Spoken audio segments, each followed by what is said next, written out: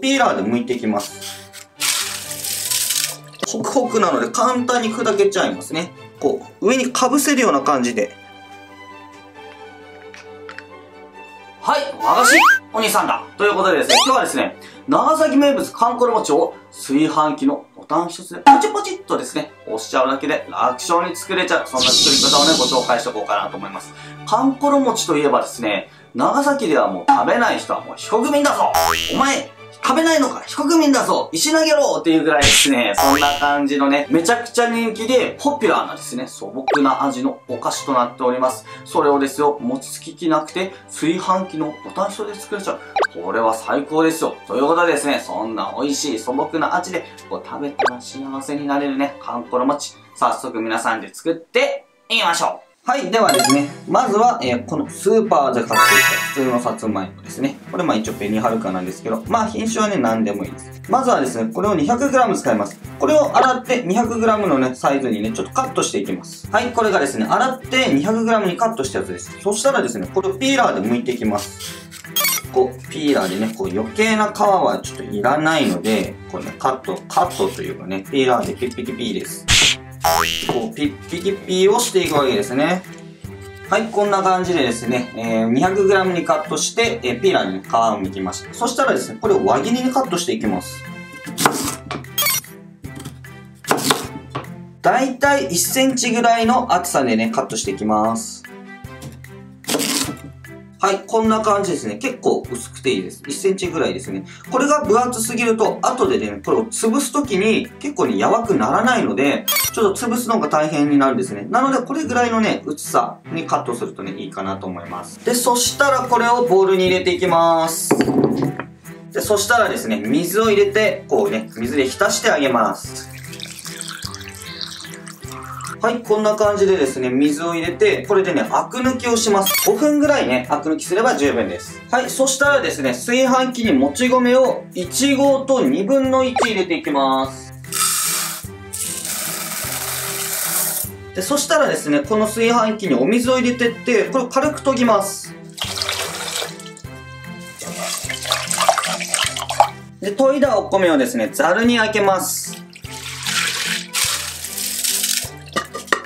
で、そしたら研いだお米をまた戻して、で、あとはですね、お米に水を 250g 入れます。きび砂糖を大さじ2入れます。グラム数で言うと大体 30g ですね。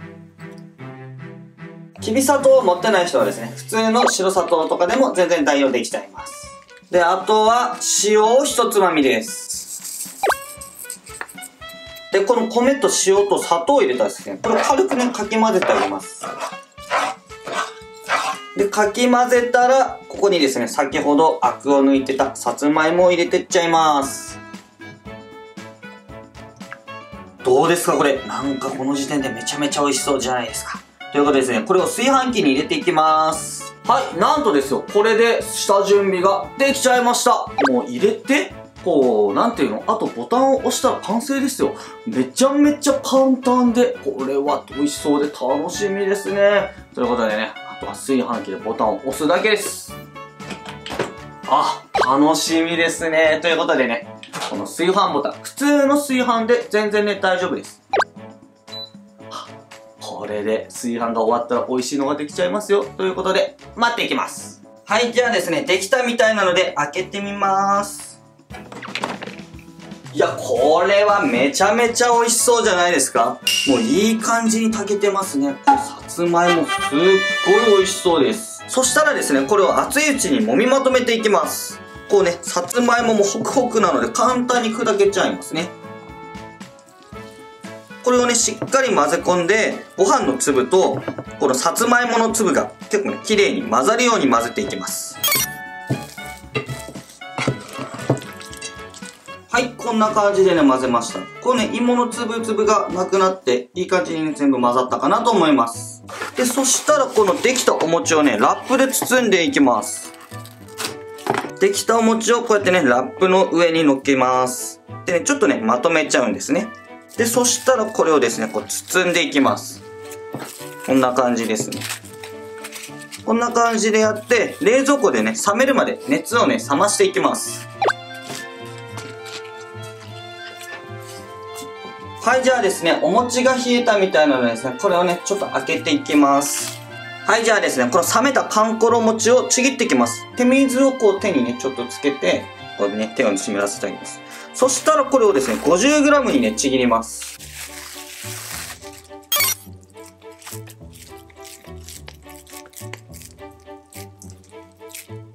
大体ですね、大体でいいので、大体 50g ですね。感覚でいいので、ちょっとね、ちぎっていっちゃいます。で、50g にちぎったら、こうね、手にね、手水をつけてあげます。こんな感じで濡らしてあげて、この 50g、まあ、大体 50g でいいです。そしたらこのお餅をですね、こうグッグッグッとね、結構ね、大きく広げてあげます。こう、大きく広げてあげた方が包みやすいので、なるべくね、大きい方がいいです。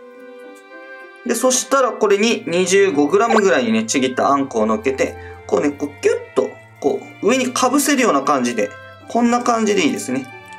こんな感じでキュッキュッキュッキュッとね、こう閉じてあげます。はい、こんな感じですね。こんな感じになれば OK です。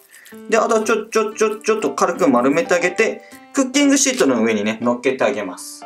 いい感じにね、綺麗にね、まん丸に包まれてます。そしたらこれをですね、フライパンでね、ちょっとね、このまま焼いていっちゃいます。熱したね、フライパンの上にね、このままお餅を乗っけちゃいます。で、あとは焼き目がつくまでね、焼いていきます。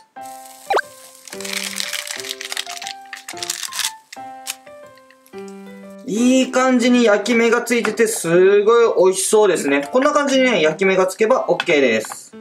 まあ、熱いのでね、こうひっくり返すときにね、ちょっと気をつけてください。で、あんこを入れないときは、このままね、だいたいね、50g でね、ちぎっちゃいます。で、そしたらですね、こう、コロコロコロコロってちょっとね、こう、形を作って、俵型に形を作ってあげます。コロコロと。はい、こんな感じでね、OK ですね。そしたらこれをですね、こう乗っけてって、全部ね、やったら、これをね、また焼いていきます。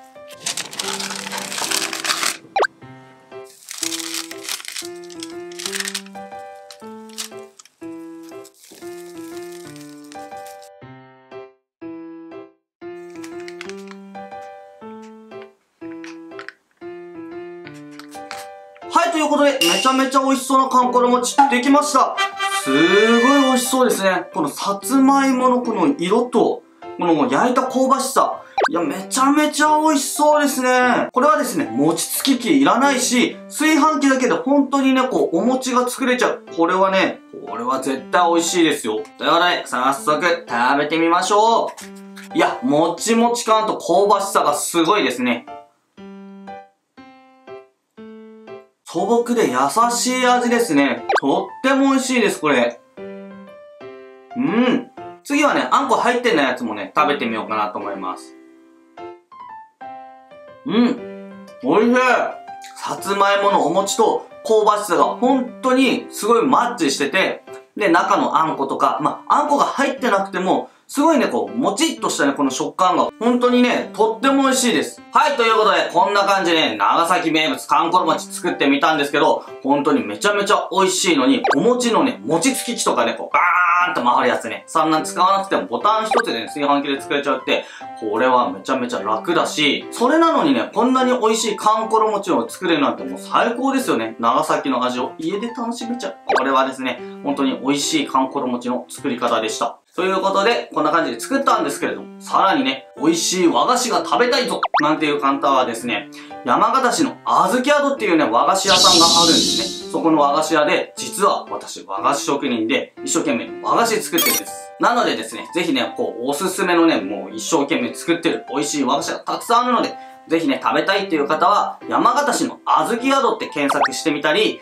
あとね、オンラインストアっていうね、概要欄からもね、こうネットショップとかもやってるので、ぜひね、興味ある方はぜひ見てみてください。本当にね、ほっぺたが、もよよよよんってね、落ちるぐらいめちゃめちゃ美味しい和菓子がね、たくさんあるので、ぜひ見てみてください。ということでね、こんな感じで美味しいレシピとか、こう役に立っちゃう作り方とか、こうね、紹介してってるのね、ぜひね、面白いなとかね、あ、これは役に立ったなぁなんて思った人はですね、チャンネル登録とね、グッドボタンもぜひよろしくお願いします。ということで、バイバイ